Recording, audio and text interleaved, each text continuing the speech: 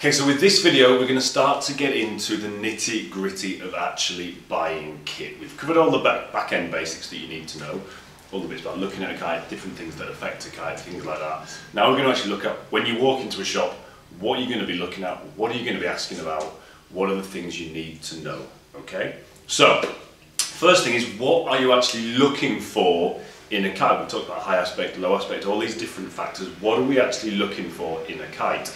What you are looking for, quite simply, easy relaunch. Massively important. You're going to be dropping the kite a lot. So you need something that relaunches fast, especially to start with. When maybe your relaunch skills aren't that hot, you want a kite that helps you out in this, okay? And the biggest example of this I can give you is when you're actually practicing, you're going to be spending a lot of time fairly close to the shore because you want to you're going to want to stay fairly close in because obviously as you get further out, it's further to drag if something goes wrong. Now the problem with being close to the shore is there's these thing called waves, which if you drop your kite in the middle of the waves, it tends to get sucked down and tends to ruin your afternoon. So you want something that relaunches as instantly as possible. So easy relaunch is probably the biggest one. Stability. You want a kite that's not going to fall out of the sky as soon as there's a gust or a lull of wind. So you want something that's nice and stable, going to make your life nice and easy, and by by the same factor is also fairly forgiving, i.e. you don't have to pilot it perfectly to get the performance that you need out of it. So something that's stable, something that's fairly easy handling. Needs a big wind range.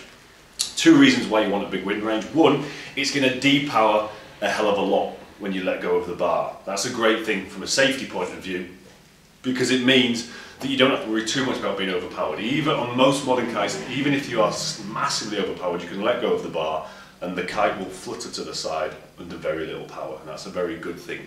The other advantage of a big wind range is it means you need to buy less kites. If you've got one kite that covers a wind range from let's say 10 to 20 knots, that's much, much better than having to buy two kites, one that goes from 10 to 15, one that goes to 15 to 20. It's going to save you a grand, even more when you're looking at kites. So you want a big wind range, so you don't have to think too much to start with about which kite do I put up, because that's always a really, really difficult question that really is very difficult for anyone else to help you with. Because you've just got to know your own riding style, your own weight, the conditions, different factors about the wind, different factors about the location, and you've got to kind of muddle it together over time. So a kite that you can actually adjust on the fly because it's got a big wind range is a really, really good thing. The final element that we're going to, second to final element we're going to talk about is safety. The kite has to be safe. Now this is one thing that is often breezed over, especially I know when I started I was yeah, yeah, whatever, the kite's safe, it's fine, I'm never going to release it anyway. The truth of the matter is you probably won't ever do a self-pack or you won't need to do many self-pack downs, but when you need to do it, you need it all to work. So safety is a critical aspect, especially at the start, where you're probably going to be getting yourself into a few more scrapes, a few more sticky situations than you might like, and you really want that safety system to work 100% of the time. So make sure the safety system works, it functions, it releases onto one of the centre lines, and it's a proper safety system, i.e. not one of these that releases onto two centre lines. If you want more information on that, there's a few topics on the blog that we can talk about there. Um, but just make sure the safety system works. Test it if you can before buying the kite. Final thing you need, and probably, going back over more, the most important, is the reason that we do kite surfing, is it's got to look cool. Okay, really, really important, especially if you're a girl. It's got to be nice and pink. Okay. The key word that you need to remember is free ride. Okay, there's many different categories of kites, and all manufacturers break their kites down. There'll never be a beginner's kite, or very, very rarely. Why? Because beginner kites simply don't sell. Because people walk in the shop, I'm not a beginner, or I won't be a beginner in six months' time, ergo I'm not going to buy a beginner's kite. Now the mistake people make is that they then link free ride up with beginner kite. It's not so. I've been kite surfing 10 years, I still ride a free ride kite. Most of my friends here in Tarifa who've been riding at least as long as I have ride free ride kites. Why? Because a free ride kite is designed to do exactly what it says. It gets you out in all conditions. It's a jack of all trades, a master of none, which depending on where you live is probably an awesome thing, but certainly for a beginner stroke intermediate rider, someone looking to buy their first kite, unless they're very, very certain, I want to be a wave rider, I want to be a freestyle rider, and even if they are, I would suggest buying a free ride kite. Why? Because it does all these things we've talked about. It will be built to easy relaunch, be nice and stable, have a big wind range, be safe. Okay, we'll do all these things really well because that's what a free ride kite is designed to do. What it won't do is boost you all the way to heaven and back. It won't ride up wind like the clappers. It won't do any one thing particularly well, but it will do a mixture of all of them very well, as good as it needs to do, okay? And the other reason for this is, look, most of us aren't going to be riding in somewhere like Maui or somewhere like Dakhla where it's perfectly flat water. Most of us are going to ride somewhere where from day to day the conditions change. So some day you've got waves, some day you've got flatter water, some days you've got bump and jump conditions. This is the style of riding that the free ride kite is the master of. Gets you out in all conditions. It's fairly plug and play. There's not too much you need to know about tweaking the kite. It just works out of the bag generally. So this is why these kites are so good. If you then want to specialise down the line into, right, I've done all this, I want to become a dedicated wave rider, and I kite surf enough in a spot with waves that it's worth doing, because bear in mind a wave kite isn't going to do the other things very well, because it's a specialist, then you can start to specialise. Likewise, you can go down the freestyle route or live in a place where it's fairly flat water. I want to be doing tricks all the time. I want to buy a freestyle kite. Okay, but as I say, a lot of people, especially here in Tarifa, where we do get this mix of conditions, buy free ride kites because they can only afford to buy one set of kites to start with. They can't afford to have a wave set and a freestyle set, and the free ride will get them out on every single day and have them have a good time on, or let them have a good time on those days, as opposed to having to swap and change and tweak the kit from time to time. So the key word that you're looking for is free ride. Most manufacturers, well every manufacturer has a free ride kite. The categories it breaks down into generally, free ride, wake style, new school or freestyle. Freestyle not to be confused with free ride, they're very different things. Wave kites, race kites, sometimes get light wind kites as well. They're the major categories of kites that you get. Okay, so your one you're looking for is free ride.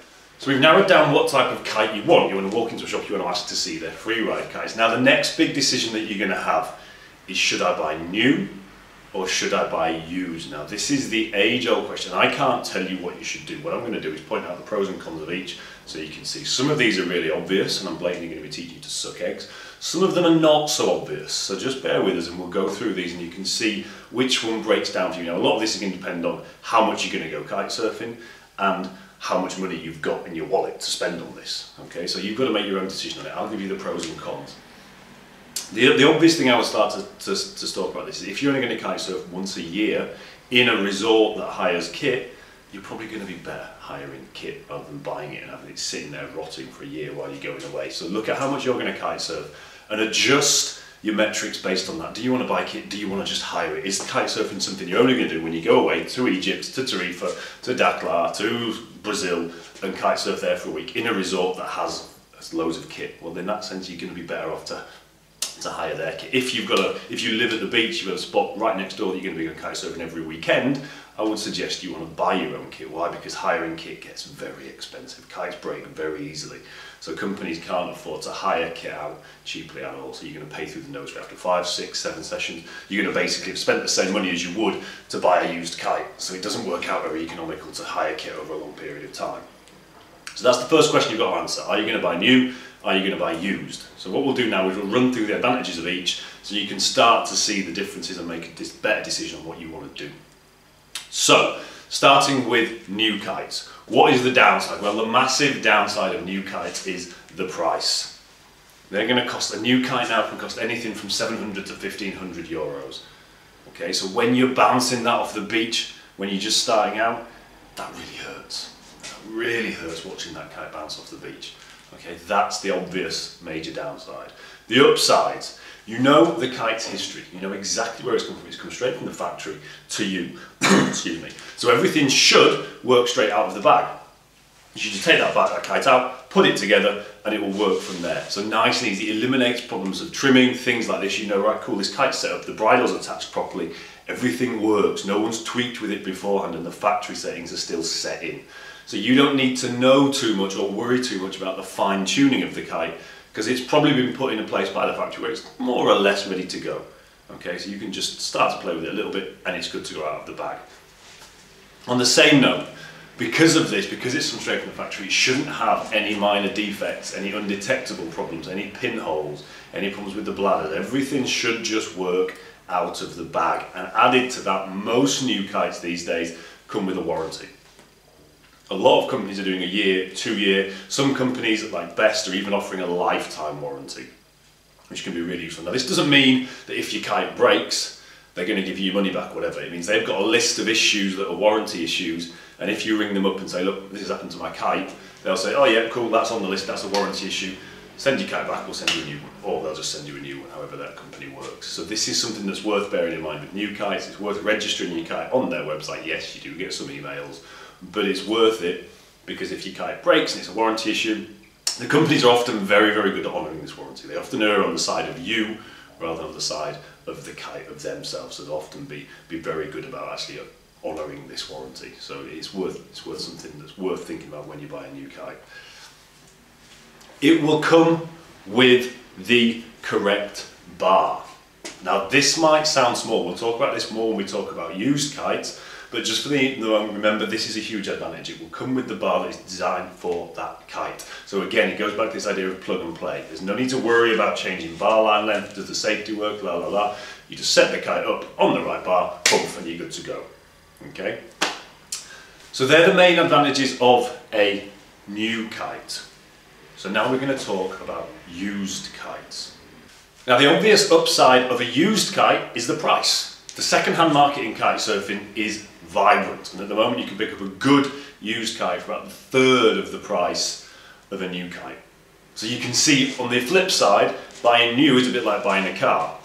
The price decreases very fast. So you can be buying a year old used kite and it may be 500 euros and it's in good nick.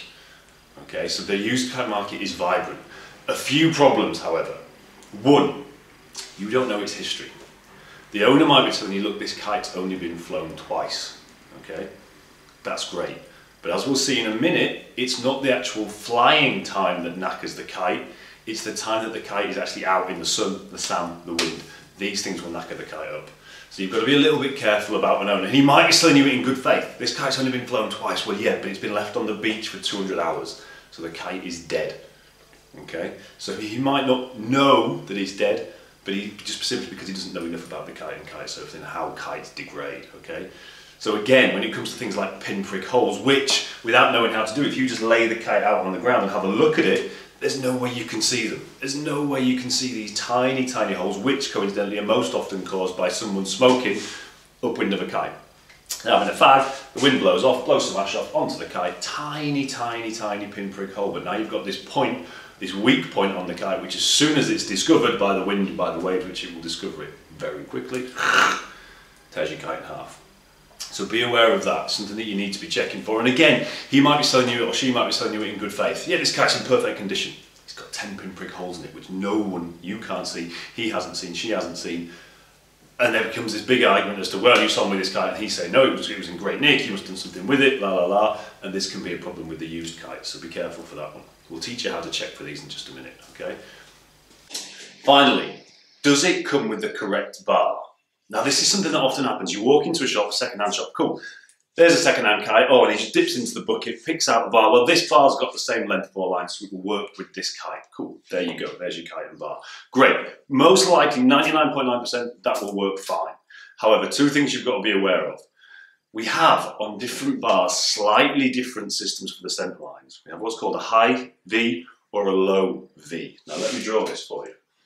This is our low V bar. Okay, so you've got there, you've got the chicken loop, here you've got the trim strap, and from the trim strap, the centre line split into a V. This is a low V bar. We also have, same thing, trim strap, a high V bar. Now what happens here is you have a, another line, a single line running up the middle, and then the centre line split in the middle like that. So you've got high V, low V. Now, what we've found is that very often a kite that's designed for a high V bar will not fly on a low V bar and vice versa. Sometimes you can get away with it, sometimes you can't because simply put, this is being pinched at a different angle. So the angle of those lines running up to the kite pulls the kite into a different shape, which sometimes works, sometimes doesn't. So something to be aware of there. So apart from the low or the high V, the other thing you need to be looking at is is it actually safe to use that bar on your kite? Now what we're looking at here, some, some bars, some of the older bars especially, come with a stopper ball. Okay, and this is designed that when you flag the kite out, it, the stopper ball stops the bar from disappearing all the way up to the kite.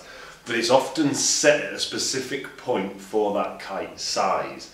Uh, if that bar is a short bar for a 7 metre kite, it will be set quite low down because it doesn't need to go as high up to flag the kite out as it would on say a 12 metre bar. So you need to just check that the safety is set up properly for the kite you're going to fly. So what I would suggest if you're going to buy a second-hand kite with a different bar, take it down the beach or take it to a field and just give it a fly. While you're doing that, test the safety system. Just check the whole thing works. Check it works with that, whether it's high V or low V, and check the safety system depowers fully, i.e. the kite flags out and depowers fully as it's doing it.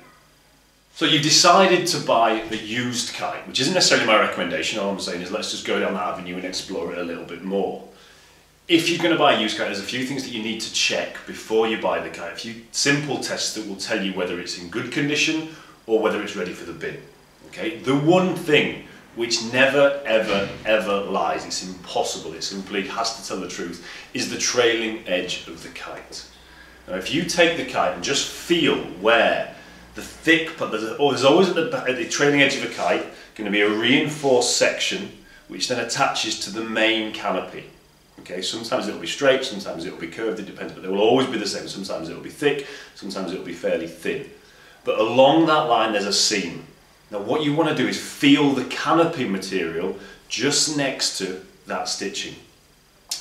What you want to do, the way I would look at this, is go and go and try a new kite. Go and feel the canopy of a new kite and feel what that feels like. And then come back to your used kite and feel the back, the trailing edge at the point we've just talked about. It should be as close to the new feel as possible because what happens is if you've ever seen a flag, imagine a flag flapping in the wind.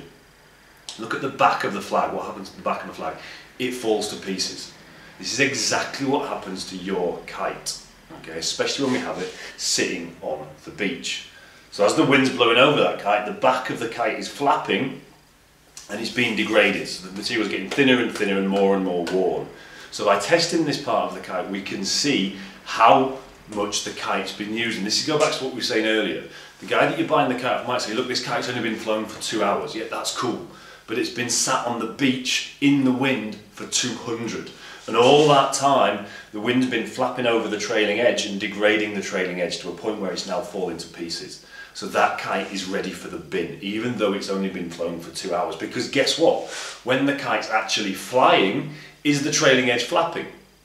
No, the trailing edge isn't flapping. So the worst thing you can actually be doing for your kite is walking along with it behind you, flapping in the wind when you could be flying it. Because by flying it, the back end's not flapping, it's nice and solid in the sky and it's not being degraded anywhere near as much, which is quite difficult for people to, to, to realise to start. People think that by holding the kite and walking along, they're doing a lot less damage than flying the kite. Fly the kite as much as you can.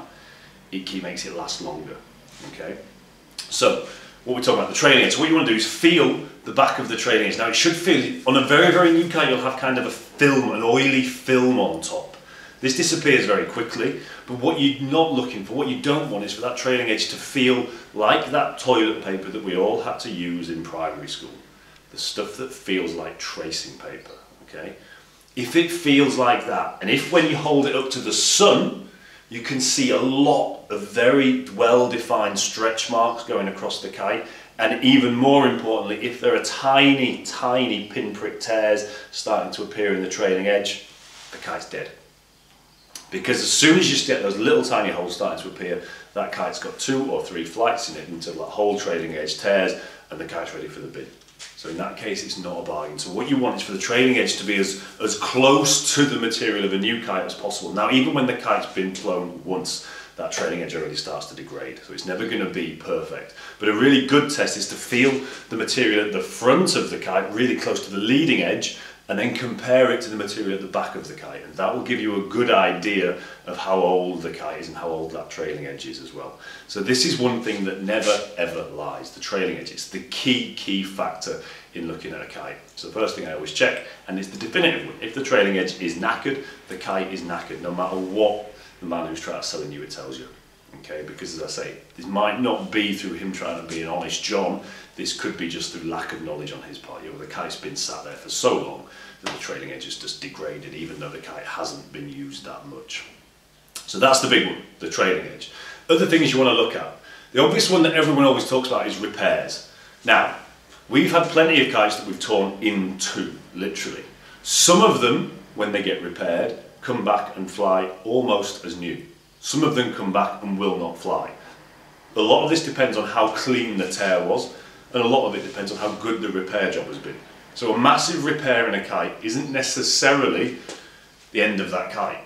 What it does mean sometimes you can pick up a bargain because the guy knows, well look, it's had a massive repair, it's really obvious, I've got to knock 100, 150 euros off the price.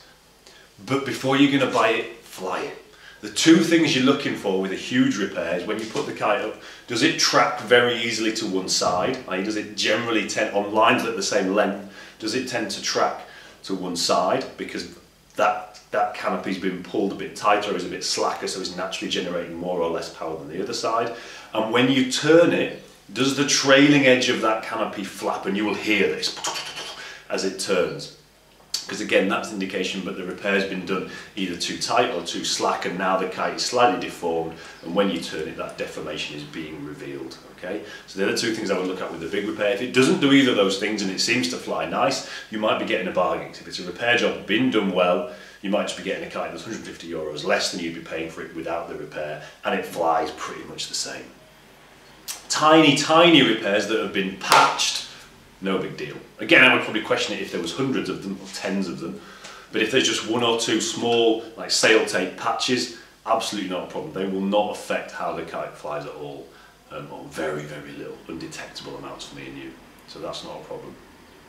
One thing that is worth checking, the valves. Pump the kite up, leave it for half an hour. Leaky valves are very, very easily fixed, but they're a real pain in the ass, especially because most people don't fix them because we're too lazy.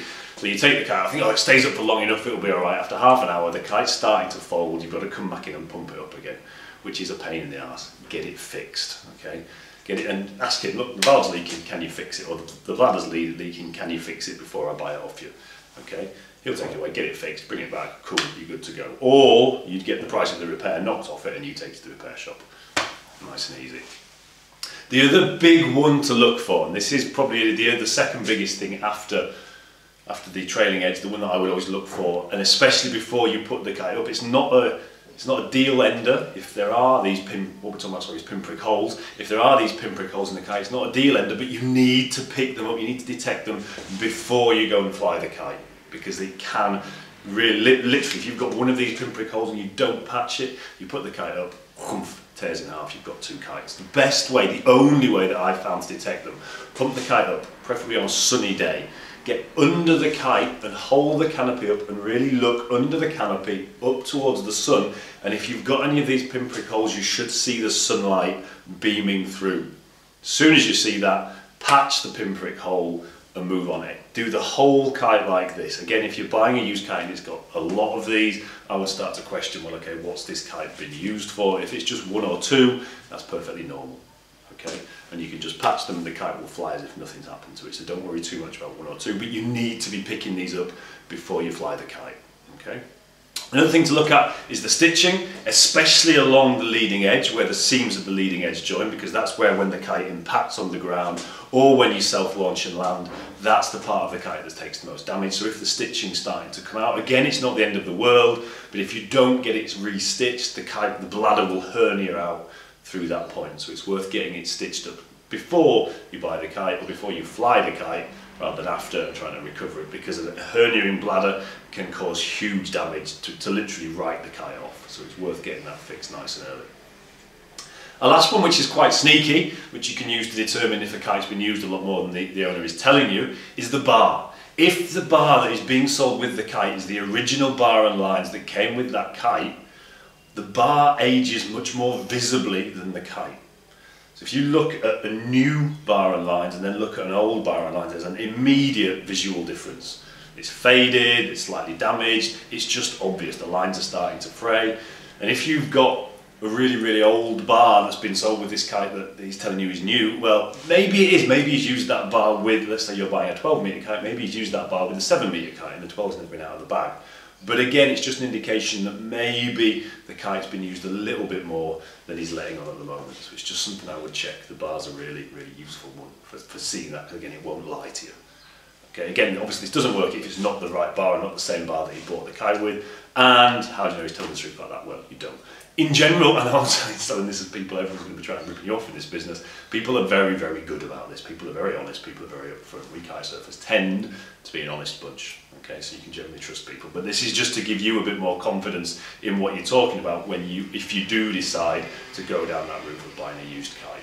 Okay, so they're the key things that you want to be looking at. Final question we're going to cover here is what size kite should I buy first? Now the problem with this whole presentation is that I can't say to you, this is the kite you need to buy.